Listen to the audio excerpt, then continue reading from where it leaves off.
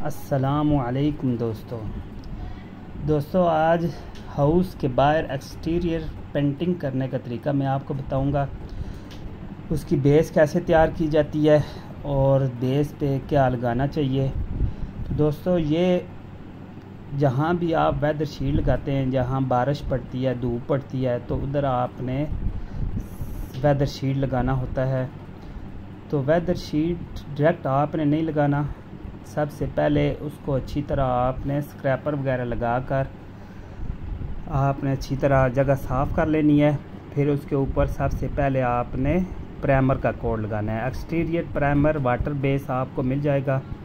हर company में मिल जाता है तो आपने एक्सटीरियर वाटर बेस प्राइमर लेना है।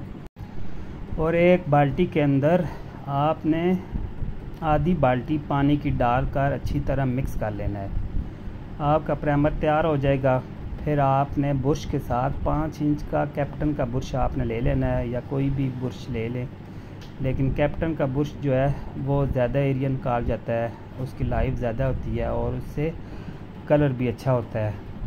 कैप्टन का बुरश ले के आपने उसके साथ जो दीवारें बार बार हैं, उसका एक कोट प्राइमर का आपने लगा लेना है। अच्छी तरह एक कोट आपने प्राइमर का लगा लेना है। एक कोट प्राइमर का जब आपका लग जाएगा तो आपकी बेस तैयार हो जाएगी।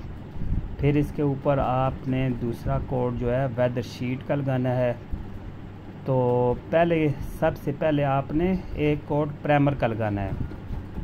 डायरेक्ट वेदर शीट लगाएँगे तो वो अच्छी तरह खूबसूरती और सफ़ाई के साथ काम नहीं आएगा। वो बीच में डब्बे डब्बे जैसे कलर के नज़र आते हैं ना, इस तरह नज़र आएगा। वो अच्छा नहीं लगेगा, नीट नहीं लगेगा। तो प्राइमर लगाने से जब आप इसके ऊपर वेदर शीट लगाएँगे, वो सही नीट और ख़ूबसूरत नज़र आएगा। वेदर शीट भी आप किसी भी कंपनी का लगा सकते हैं और कोई भी कलर लगा सकते हैं, ये आपकी मर्ज़ी है।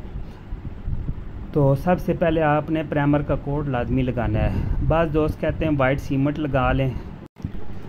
वाइट सीमेंट जो है ना, पहले, सबसे पहले आपको पानी से तराई करनी पड़ती है, फिर उसके ऊपर वाइट सीमेंट लगाएँगे। जब आप तराई करेंगे तो फिर दीवारें सारी गीली हो जाएँगी। तो इसलिए बेहतर यही है कि आप प्राइमर का कोड लगाएँ, और एक तो इससे कवरिंग अच्छी होगी, और दीवारों के ऊपर जो वाइट सीमेंट लगाने के बाद छोटी छोटी त्रेडें आ जाती हैं तो वो प्राइमर के अंदर ये चीज़ नहीं आएगी, और इसकी लाइफ भी ज़्यादा है। इसलिए सबसे बेस्ट तरीका यही है कि भाई, बाहर आप वाल प्राइमर का एक कोड लगा लें और फिर इसके ऊपर आपने वेदर शीट कर लेना है। ये देखें दोस्तों, ये हमारा प्राइमर कंप्लीट हो गया है। अब इन नेक्स्ट वीडियो में इसके ऊपर जब वेदर शीट लगाऊँगा तो आपको वीडियो बनाकर दिखा दूँगा। तो वीडियो अच्छी लगे तो इस वीडियो को लाइक ज़रूर कर दीजिएगा और मेरे चैनल को सब्सक्राइब कर दें। अल्लाह हाफिज़।